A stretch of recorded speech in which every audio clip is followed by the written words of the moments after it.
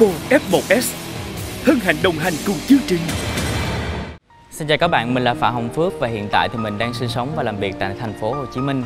Nói về công việc sáng tác thì ngay từ nhỏ thì ờ, bố của Phước đã cho Phước và em của Phước học piano thì đó là những cái bước đi chập chững đầu tiên của Phước khi mà biết đến với âm nhạc và đến với cuộc thi Sing My Song lần này thì ờ, Phước mong muốn sẽ được đem đến rất là nhiều cái chất liệu âm nhạc khác mà khán giả chưa từng được biết tới ở Phước. Điển hình là ca khúc đầu tiên ngày hôm nay, đây là ca khúc mà Phước dành tặng cho em gái của Phước. Và thật ra ở cái thời điểm này á thì ờ, Phước có hứa với em gái của Phước là có hai món quà tặng. Đó là đầu tiên là dẫn em gái của Phước đi du lịch và cái thứ hai nữa là bài hát này. Thông qua cái ca khúc này, Phước muốn nói cho em gái của Phước biết là cho dù anh hai có đi đâu thì khi mà em có chuyện gì thì đã có anh hai mà giống như là trong ca khúc này Phước muốn hướng tới sắp đến giờ phải bước lên sân khấu rồi và hiện tại tâm trạng của mình thì nó hồi hộp thì ờ, cũng không hẳn nhưng mà tại vì đây là một bài hát viết về gia đình cho nên Phước đang muốn là có thật nhiều cảm xúc để lên sân khấu hát thật hay. Hy vọng là khán giả cũng như là đặc biệt là em gái của Phước và ban giám khảo sẽ yêu thích ca khúc này.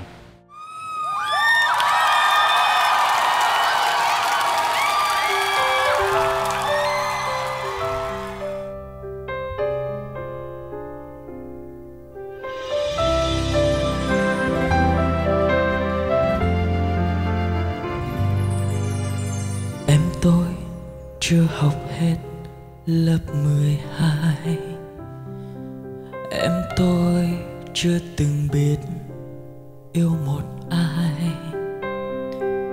Em tôi chưa từng bước đi xa đường một mình. Em tôi năm nay tròn đôi mươi. Em vẫn hay thường viết trong nhật ký những câu hỏi. Sao em không thể nghe, không thể nói như bao người? Em ước một lần thôi, có thể nói em tên gì? Ước mơ của em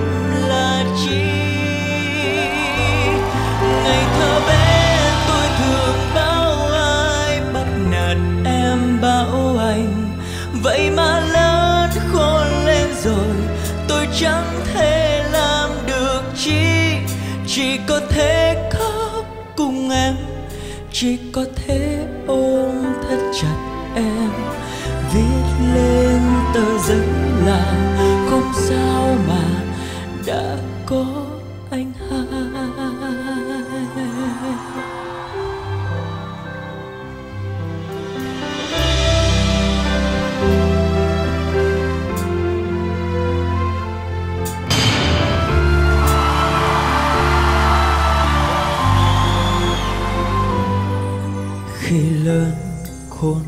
sống không hề giống như mộng ước.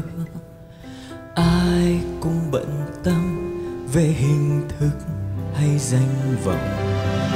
Em đi lối về sau, tô màu sắc cho hy vọng. Ba mẹ Phước hay nói là nếu mà lỡ ba mẹ sau này mà già đi thì em cũng Phước sợ với ai?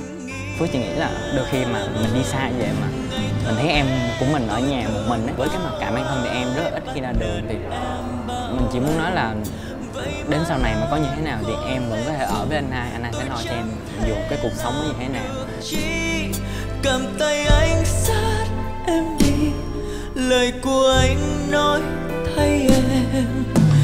Giống lúc xưa thường khóc nhẹ.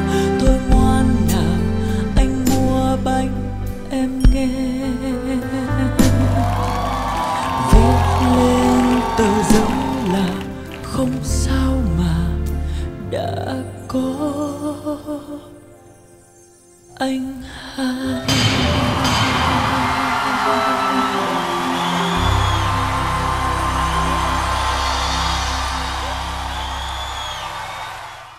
Thành phố bé thế thôi mà tìm hoài chẳng được. Tìm hoài sao chẳng thấy nhau giữa Em gái tôi năm nay tròn đôi mươi. Em tôi chưa từng biết yêu một ai. Em tôi hay ngại bước đi ra đường một mình. Em ngại cả thế giới này, Vì với em, Tất cả chỉ là sự im lặng. Nhưng Em có biết, Nụ cười của em chính là âm thanh và tiếng nói đẹp đẽ nhất thế gian này.